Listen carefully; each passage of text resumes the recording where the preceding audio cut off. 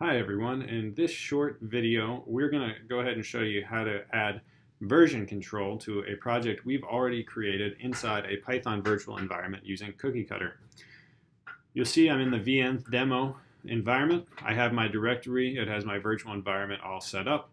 I've already installed Cookie Cutter and I have gone ahead and installed the data science template from Cookie Cutter into my code directory. As you can see, everything is right there. So the first thing I want to do is go back to the core here, and I'm going to create a new Git repository in this directory. So I'm going to go ahead and say git init.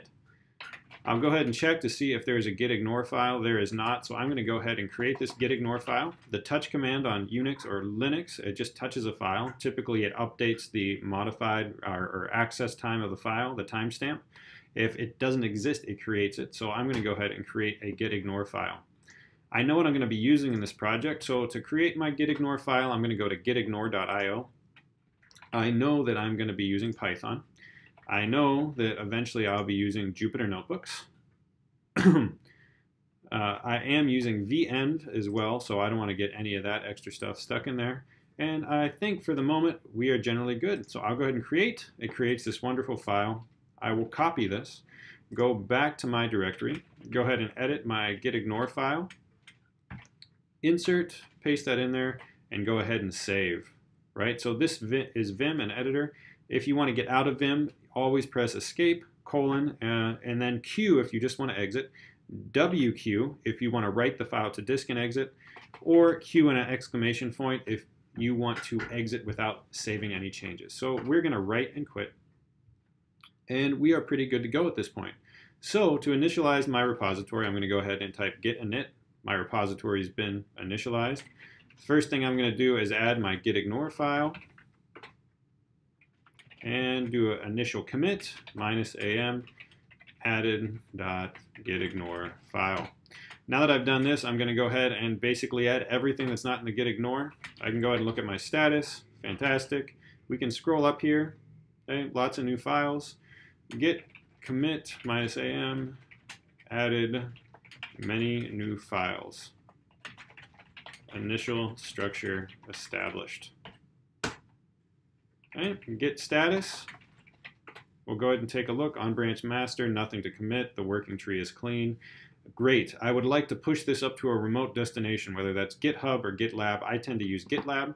So I am going to pop on over here to GitLab. You'll see I'm already logged into gitlab.com. I'm going to go ahead and create a new project at this point.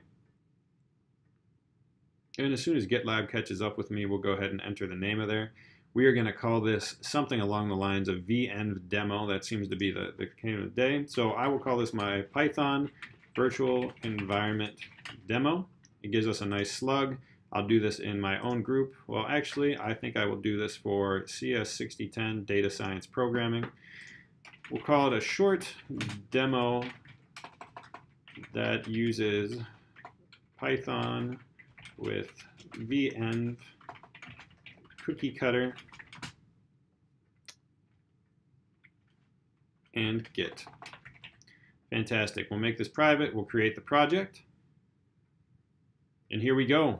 So I already have a repository created locally. Uh, so all I need to do is push an existing folder. You'll see I've been in that folder. I've already done the init command. I've done the add, I've also done this commit. So that leaves two commands. First, this git remote add and this git push minus u origin master. The first thing is git remote add. Uh, you will see if I type git remote, it shows me there is nothing. I will do this. Now if I type git remote, it tells me there's a remote called origin. If I do a git remote minus v, it tells me what that origin is. This is fundamentally the remote repository where we want to store everything. I can add as many remotes as I want. I can also remove as many remotes as I would like. Now to push to that remote, we are going to go ahead and say git push minus u origin master. That means push my current branch to the remote called origin on the branch master and update my local info so that this branch tracks. What that means is Git will now match my local master branch against the remote master branch uh, at the remote called origin whenever I just use a push or a pull or a fetch command. So I'm going to go ahead and say that, git push minus u origin master. right? Branch master, set up the track remote. And if we go back, we can refresh our remote repository and you'll see this is wonderful. Uh, I have my code. Inside my code is the README. The only problem I have here is my README is one level deep. So I'm going to go ahead back here. I'm going to use the git move command, say move the README file from the code directory into the current directory. I'm going to make a commit.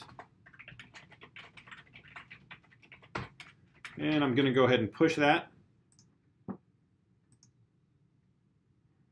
And I will go back to the top level of my directory. Now the README is here. You'll see code, a demo of cookie cutter with venv, and it explains our whole file structure. This is the default README, and you can add anything to this that you want. So here we go. Everything is set up. Uh, it's well, it's running, and we can start any work we want using Jupyter, Jupyter Labs, notebooks, Python, anything as we move along this process.